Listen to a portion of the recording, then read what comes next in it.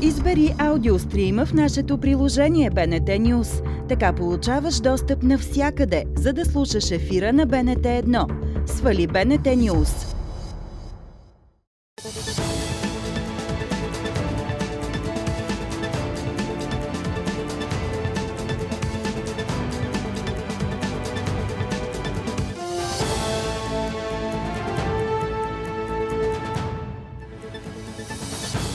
Това е посветил нас 9 сутринта. Аз съм Румен Йовчев. Здравейте!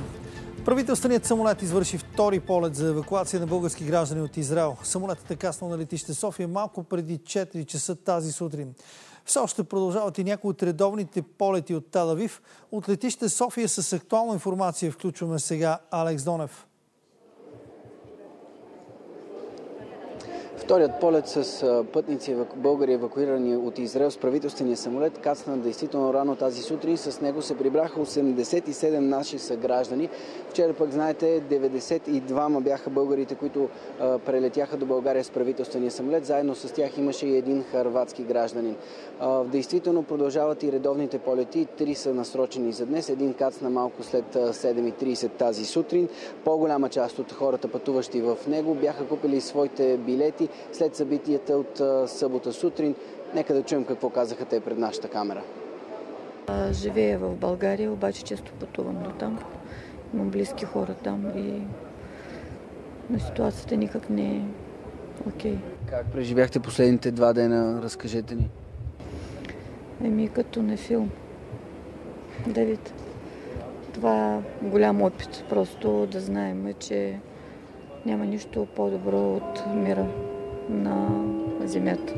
Купих билета 7 числа, 7 и чаках почти два дена да се дода, да се дода в България. Тоест деня, в който започнаха атаките срещу Израел? Да, в този ден, когато започнаха да атаките. Страшно ли беше? Къде бяхте вие тогава? Е, ние, ние бяхме далечко от, от Тель-Авив, но имаше сигнал тревоги, имаше ракети, пущаше много, так що беше страшно. Над 1100 са вече жертвите и от двете страни от началото на ескалацията в Близкия изток. Над 700 са убитите израелци за изминалите дни. Жертвите от палестинска страна са поне 400. Ранените са около 5000. Израелските власти съобщават, че са открили най-малко 260 тела на мястото на музикален фестивал близо до границата с Газа. Хиляди младежи присъствали на събитието в събота, когато внезапно там нахули десетки бойци на палестинската групировка Хамас. Свидетелски кадри показват настъпилата паника. На кадрите се чуват и изстрели. Въоръженото крило на Хамас потвърди, че държи в плен най-малко 100 души. Съединените американски щати, Великобритания, Германия и Ирландия са сред държавите, които съобщават, че техни граждани са загинали или изчезнали в Израел. През цялата нощ израелската армия продължи с интензивния обстрел на ивицата Газа. Иран отрече да е замесен в нападенията срещу Израел, но изрази подкрепата си към палестинската страна в конфликта. Преди това от Хамас твърдяха, че военното им крило си е сътрудничало с Иран за осъществяването на атаката. Съветът за сигурност на ООН се събра тази нощ на изварено заседание заради ескалацията в Близкия изток. Почти всички страни членки осъдиха нападението на палестинската групировка Хамас, но до съвместна декларация така и не се стигна. Тежка е обстановката и в ивицата Газа, където Израел продължава да нанася интензивни удари в отговор на атаката на Хамас.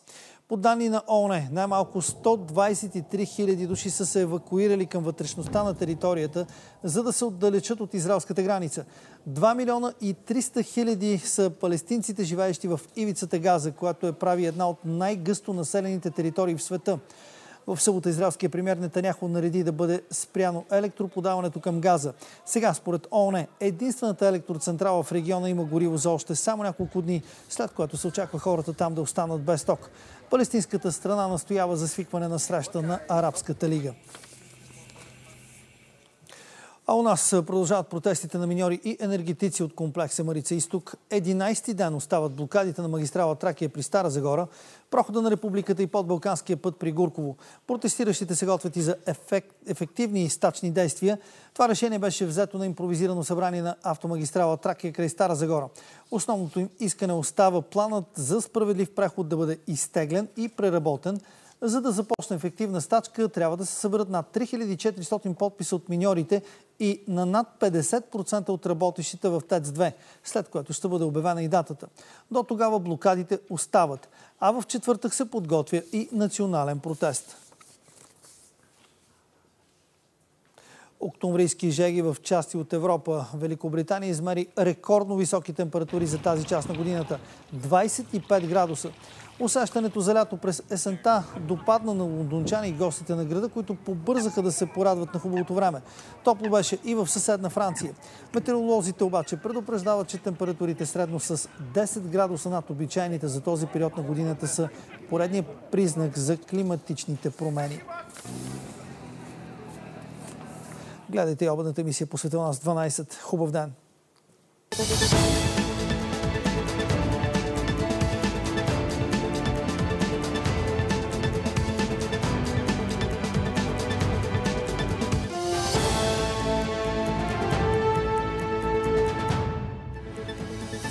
Избери в БНТ News за кои новини да получаваш нотификация и колко често. И всички важни известия вече са събрани на едно място, за да ги прочетеш в удобно за теб време. Свали БНТ News.